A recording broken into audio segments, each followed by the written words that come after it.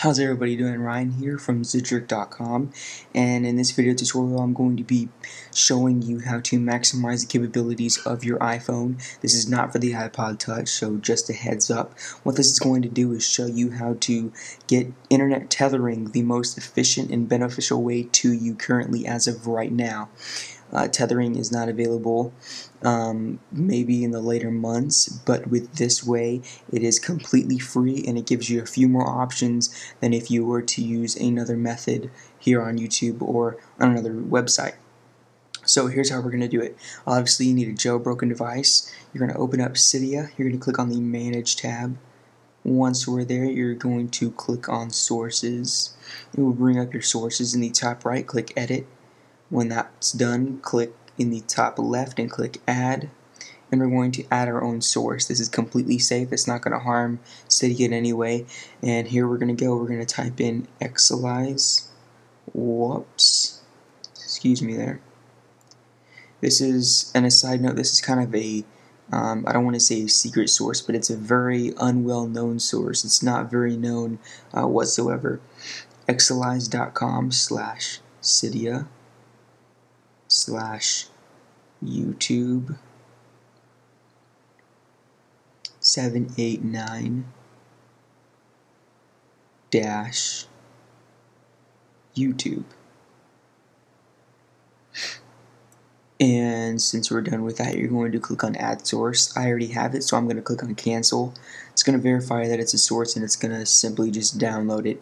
Uh, once it's done, it's going to give you this screen. You're just going to click top right, Done should be at the top, maybe at the bottom depending on how many sources you've manually added in your Cydia. But if you're new, it's most likely going to be on top like it is for me. You're just going to click on Xsellize. It's going to pop up their their source and what's in it. You're going to scroll down to the P section and you're going to click on until you find PdaNet.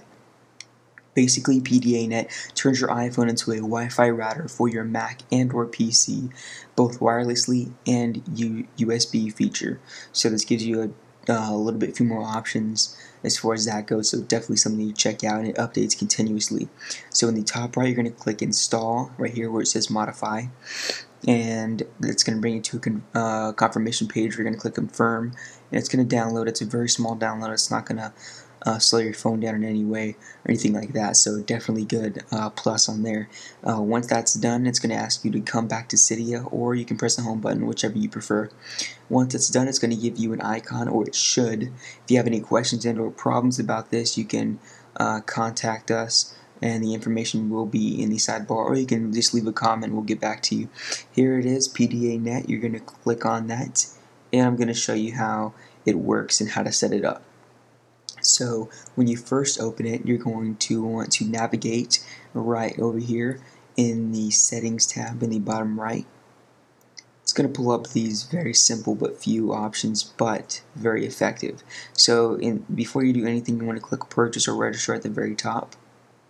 It's going to bring you to this and in the email section you're going to type in any email and when I say this I mean anything you can make up your own so we're just going to press a bunch of things at yahoo.com. And again, you can use anything. Yahoo, Gmail. It's a fake email. You do whatever you want. Once that's done, you're going to click on the serial and it's going to auto place it in. Once that's done, you can either click buy or submit. It's not going to buy anything, obviously. It doesn't have any of your credit card information. I'm going to go ahead and click cancel. Once that's once that's done, it'll give you a little pop-up. Whether it says you've uh, done it correctly or not, you will see here. And I'm going to go ahead and show you. It does say registered, so we are good to go. Some of the options we have are Wi-Fi router mode for your Mac. So uh, basically turns your iPhone into a Wi-Fi router just you know obviously. And for the Windows users you have a USB mode. Now not to say this doesn't work like with your Mac but it's very efficient if you use the Wi-Fi router um, most of the time. But if you can't and you have problems USB is definitely 100% available for everyone. Now here it is PDA is uh, not excuse me off. And um, so the reason why I personally have it off is because of the fact that if you have Wi-Fi currently on and your Wi-Fi router mode is on, which it is by default, then it's going to waste battery.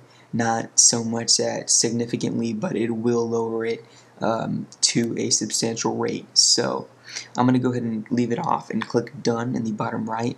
You will see come to another page where this is off. Now, um, if you did have it on, it would say that it was on. We can go ahead and show you. We can turn on Wi-Fi mode and click done. And it'll give you some information on how to set it up and that it's on. So definitely some important valid information that you may want to be checking out and reading for yourself. So that's PdaNet, how to tether with your iPhone and do it efficiently and more beneficial to the user. Very user friendly as well. So hope you guys enjoyed this tutorial. Uh, leave a comment if you have any questions and or concerns. If you're on the Zijric website, you can leave a comment there as well. And we will go ahead and try to help you out. And have a good one.